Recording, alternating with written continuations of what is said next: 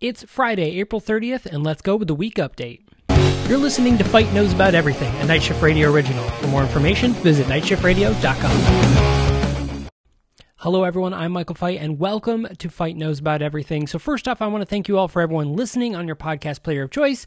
Thank you very much for subscribing and following. And for those on Apple Podcasts, thank you very much for leaving a rating and review. It's super easy. Just click that five star and say, hey, this guy's cool and I love his long hair or something, or maybe he should cut it. I don't know. Let me know.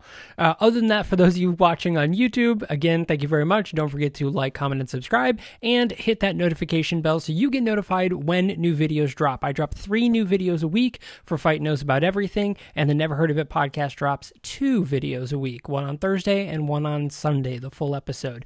But tomorrow, that would be May 1st, uh, Left of the Dial Live, our uh, partner uh, YouTube channel, has a brand new live session with Kaylee Goldsworthy.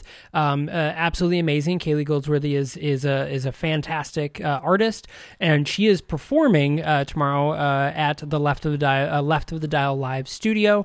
Um, so at the end of this video, there'll be a little link for you to click over to that YouTube channel, and don't forget to comment, subscribe. More specifically, subscribe and hit that notification bell so you can watch the live show on April uh, May 1st at 8 p.m. Eastern. Live show for free. It's awesome. So live music is is back and it's digital. Uh, other than that, you know, of course, for more information on all the happenings around the Night Shift Media Group, don't forget to sign up for our newsletter. There is a link down below. And if you guys just can't get enough of me, I stream on Twitch Monday through Friday uh, during the day. You can find me most of the time, anytime between 9 a.m. and 2 p.m. Eastern Time uh, on twitch.tv slash Michael Fight. So this is a short news week, so let's go ahead and kick right into it. So, the magazine Hollywood Life has recently reported from the set of Being the Ricardos, an Aaron Sorkin led biopic on Lucille Ball. The film also stars Javier Bardem as Ricky Ricardo. The film takes place spanning one week from a table read on Monday of the revolutionary show to audience filming on Friday, said to be loaded with drama and potential career and marriage ending events. The article is causing a little bit of controversy, though, as it claims Nicole Kidman, who is playing Lucille Ball, is a spitting image of the late comedian, which Sure, if your only point of reference was this statue of Lucille Ball that was erected in her hometown. Yeah, spot on.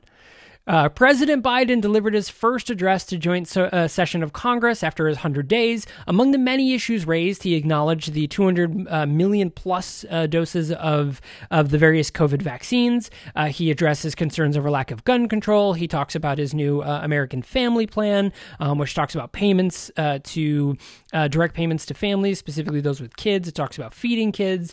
Um, it talks about health programs, free pre K, um, and it talks about free free community college, all by uh, uh, being paid for by raising the corporate tax, um, raising taxes on on those making over one million dollars uh, a year, um, and a few other things, all based on basically taxing the rich, all the things that people have been getting around.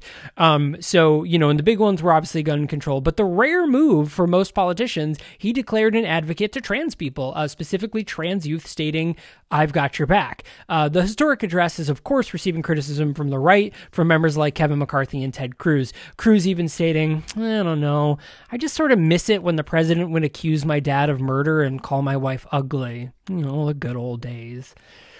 So Gwyneth Paltrow, Gwyneth Paltrow's Goop will be setting sail again, as well as her cruise line. Gross.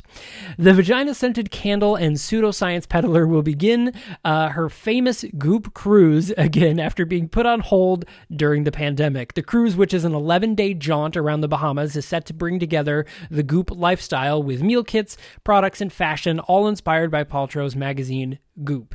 It's called Goop. Can, can we address that, please? Can we address the fact that it's called Goop?